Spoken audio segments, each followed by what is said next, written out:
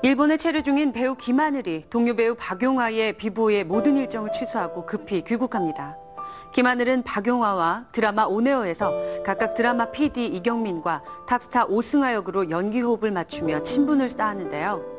김하늘의 소속사 측은 한 매체를 통해 오늘과 내일도 일본 측 관계자와 미팅이 예정되어 있지만 절친한 동료인 박용하의 갑작스러운 비보를 듣고 한시라도 빨리 빈소를 방문하기 위해 모든 일정을 취소했다고 전했습니다.